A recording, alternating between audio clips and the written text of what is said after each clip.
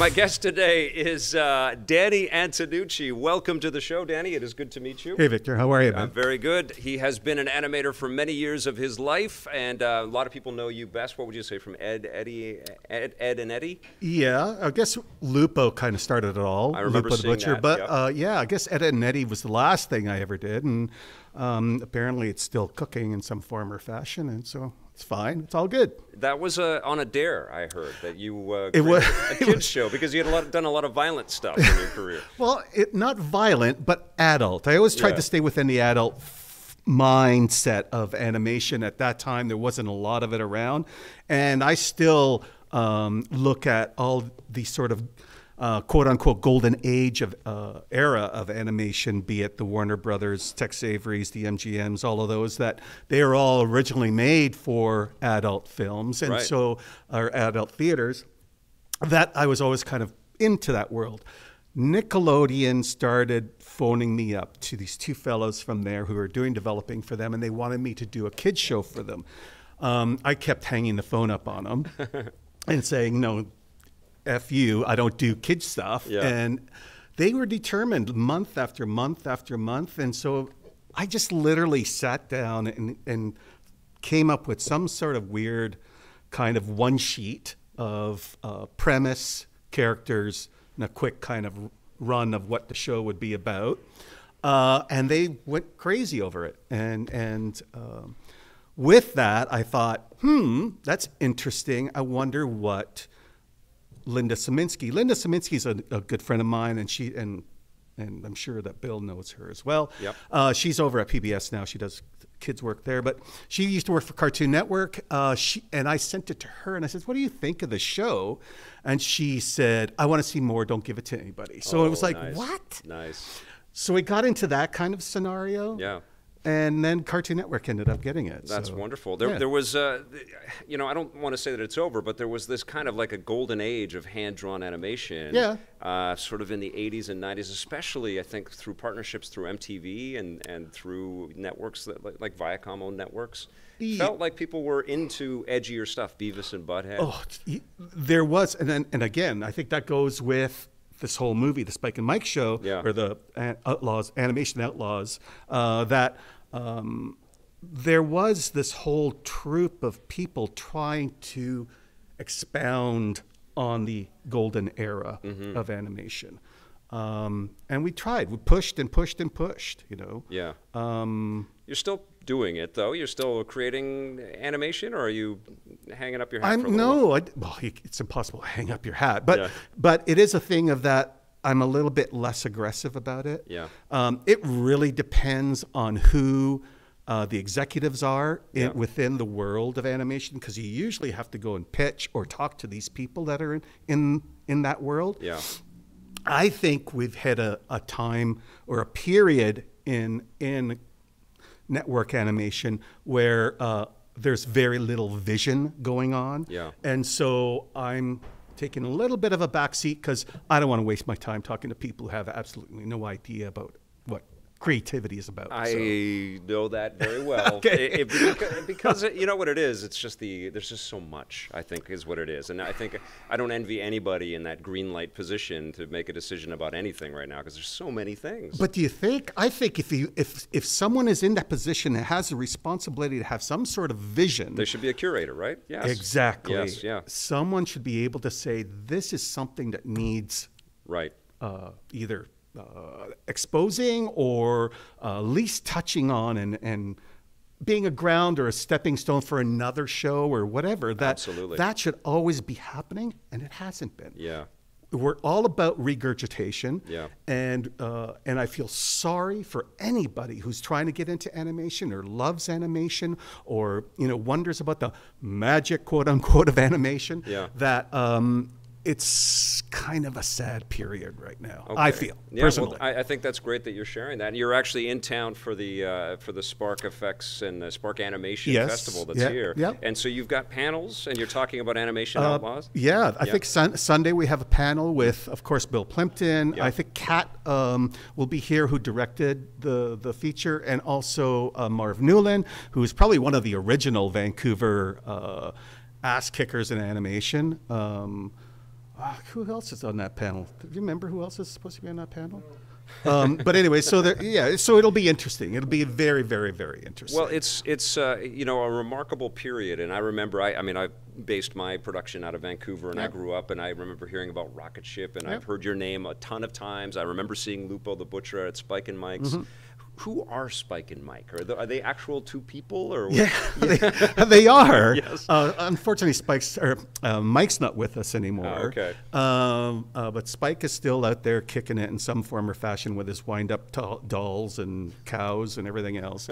um, they're these two fans. I think they would, they really did start off as uh, insane fans of animation. Yeah. Who who kind of had an agenda to uh, create a traveling animation festival in, of sorts. Yeah. And so they would find all us independents in our little hovels and holes that we hide in when we're doing our work, and uh, and expose our work, play our work, you know, to the to all of at at least at that time it was just all of America. Yeah. I know that they did make some sto- stepping stones into Canada, Vancouver being one. I'm not sure what they did on the East Coast. Yes. Uh, but um, I went to them at the Ridge Theater all the Oh, time here yeah, in Vancouver. over at the Ridge, Yeah. man. Um, uh, uh, Ridge always has a, great place in my heart because they premiered Lupo. That's great. um, but yeah, they they exposed everybody from students to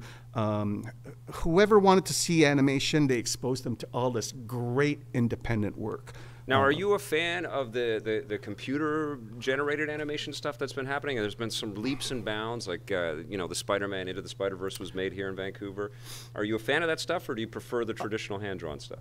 Uh, I- I- when it comes to that, like Spider Man or whatever, uh, effects, um, um, video games, uh, that whole world, I, I'm fine with it. Yeah. But when you start taking um, uh, artists, like like right now, things that are really pissing me off right now Yeah, are the Addams. Family Yes. that it's coming out, Yeah. which I think is horrible because they ruined Chas Addams' uh, designs and drawings on that, Hmm. and uh, the Peanut stuff.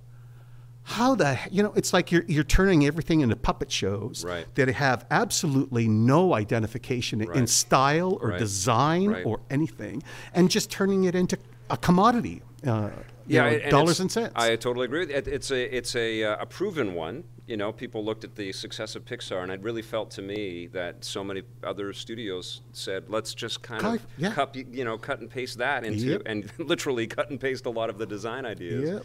And yeah, we need some shakeups there too, right? Oh, totally. Yeah. Like get away from the software. Become an you know if you're gonna be an artist and you want to do art, Yeah.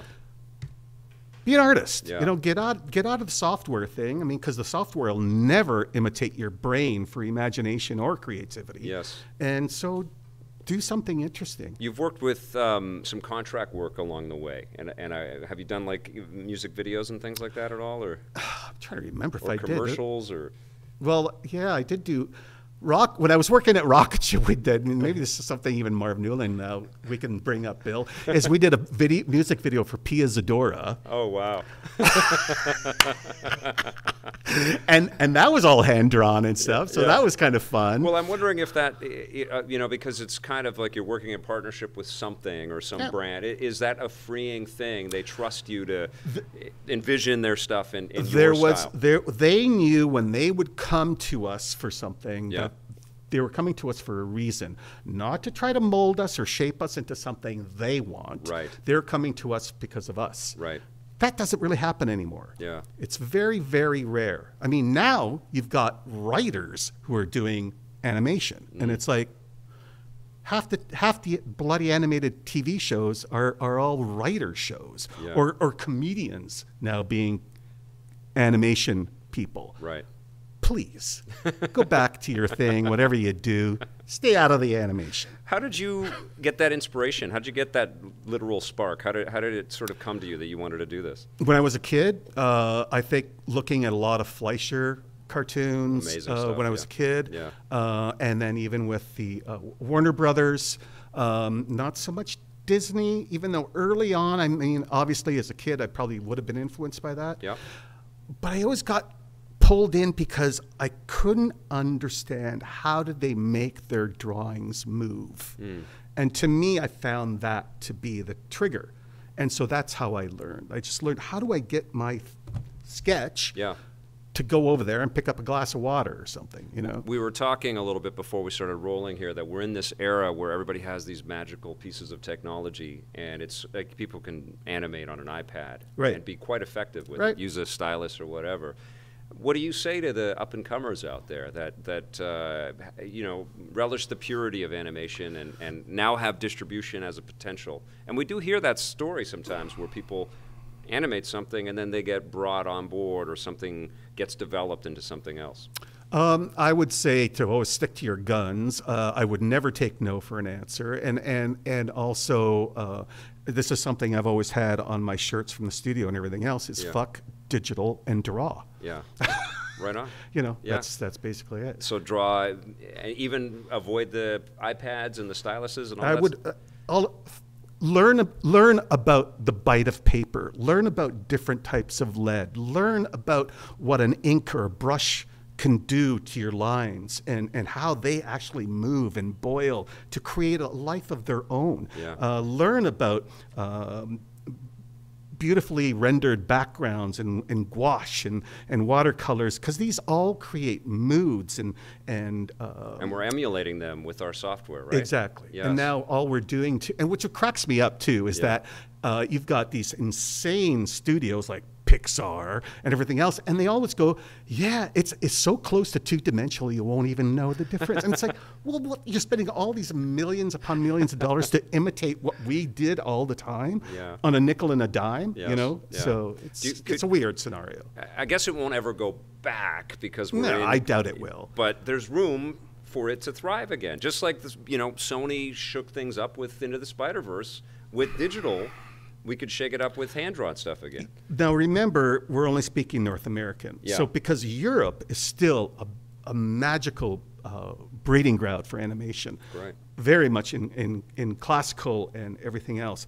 It's a, the North American attitude of everything has just gone to hell and high water. Vancouver used to be such a great independent uh, animation community, Yep. and now it's like every other dime a dozen studio uh, studio town where everybody's just doing stuff for other people. Well, this has become an animation hub and a, a visual effects hub. So there's a lot of people employing people in Hub is a nice word, but yes.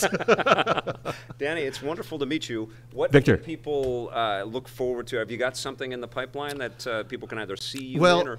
I probably shouldn't say anything. Let's say that there are people interested in Lupo again. Cool. And so uh, we've been, we're in talks, talking about all that kind of stuff. Awesome. Which is fine by me. Yeah. You know, Yeah. whatever. Let's have fun. That's that's great, man. It's really nice to meet you. Cheers. All right.